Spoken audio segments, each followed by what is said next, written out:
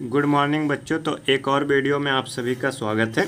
आज का वीडियो जो है ना, वो क्लास टेंथ का है, टाइम टेबल का, ठीक है ना? क्लास टेंथ का टाइम टेबल, आप सोच रहे होगे कि अब कौन सा रूटीन आया है? तो देखिए, आपका प्रथम शाब्दिक परीक्षा, यानी फ़र्स्ट टर्मिनल एग्ज़ाम पिछले महीने हो चुका है। लेकिन अब आपका सेकेंड टर्मिनल एग्ज़ाम का भी डेट आ चुका है तो आज हम लोग देखेंगे कि सेकेंड टर्मिनल एग्ज़ाम आपका किस दिन होगा, किस समय होगा। और फिर क्लास टेंथ का कब से होगा।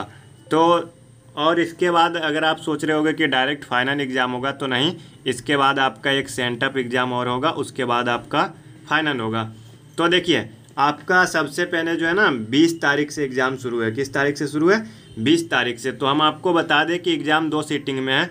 एक फ़र्स्ट सीटिंग और दूसरा सेकेंड सीटिंग लेकिन सेकेंड सीटिंग में आपका जो है वो क्लास नाइन्थ का है।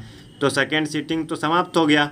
यानी इसमें, इस वीडियो में सेकेंड सीटिंग का कोई काम नहीं है। इसीलिए क्लास नाइन्थ का, यानी सेकेंड सीटिंग को हमने क्रॉस कर दिया। क्लास नाइन्थ का हम दूसरे वीडियो में आपको बता देंगे। तो देखिए, आपका शुरुआत जो एग्ज़ाम है वो बीस तारीख से है। जिस दिन पड़ता है क्या? मंगलवार। तो फ़र्स्ट दिन जो आपका सब्जेक्ट है, वो है एलेक्टिव सब्जेक्ट अगर इसको हिंदी में पूछा जाए तो ऐच्छिक विषय। ठीक है ना? यानी अगर कोई बच्चा इलेक्टिव सब्जेक्ट यानी एक्स्ट्रा सब्जेक्ट लिया हो तो आपका वो फ़र्स्ट दिन बीस तारीख को जाना, नहीं तो नहीं जाना। फिर आपका देखिए, दूसरा होता है इक्कीस तारीख को, जो कि आपका बुधवार का दिन पड़ता है तो उस दिन आपका जो एग्ज़ाम है वो इंग्लिश का है, ठीक है ना? यानी आप बोल सकते हो कि फ़र्स्ट एग्ज़ाम जो है वो इंग्लिश का है, क्योंकि इलेक्टिव सब्जेक्ट लगभग नाइन्टी एट परसेंट बच्चों का नहीं होता है। सौ में दो ही होते हैं, जिसमें कि हो सकता है। उसके बाद देखिए, तीसरा दिन आपका है बाईस तारीख बाईस तारीख आपका थर्सडे, यानी गुरुवार पड़ता है। तो इस दिन जो आपका मातृभाषा का एग्ज़ाम होगा, यानी हिंदी का, ठीक है ना? उसके बाद हम लोग देखेंगे तेईस तारीख को जिस दिन हमारा पड़ता है फ्राइडे तो तेईस तारीख को जो हमारा सोशल साइंस का, ठीक है ना? सोशल साइंस मतलब क्या? सामाजिक विज्ञान एसएसटी का एग्ज़ाम होगा। फिर देखिए, चौबीस तारीख को आपका सैटरडे पड़ता है तो चौबीस तारीख को आपका द्वितीय मातृभाषा, यानी संस्कृत। ठीक है, फिर आपका देखिए, पच्चीस तारीख को संडे पड़ता है, छब्बीस को एग्ज़ाम नहीं है, यानी आपका बीच में दो दिन का गैप है। बीच में कितने दिन का गैप है? दो दिन का। तो आपका पड़ता है सत्ताईस तारीख को मंगलवार, जिसमें कि आपका एग्ज़ाम है मैथ। फिर देखिए, अट्ठाईस को आपका पड़ता है बुधवार, जिसमें कि आपका एग्ज़ाम है साइंस और फिर सबसे अंतिम दिन उनतीस तारीख, जो कि आपका पड़ता है गुरुवार, और इस दिन आपका एग्ज़ाम नहीं है। तो अब आप सोच रहे होगे ना कि क्लास नाइन्थ का एक दिन बर कैसे गया। सोच रहे होगे ना? तो देखिए, बीच में एक दिन शनिवार पर आना तो शनिवार में फ़र्स्ट सीटिंग का एग्ज़ाम है, लेकिन सेकेंड सीटिंग का एग्ज़ाम नहीं है। तो इसीलिए आपका एक दिन जो है क्लास नाइन्थ का बढ़ गया। तो इस प्रकार से देखिए, ये हमारा क्लास टेंथ का टोटल रूटीन। एक बार फिर से हम आपको बता देते हैं।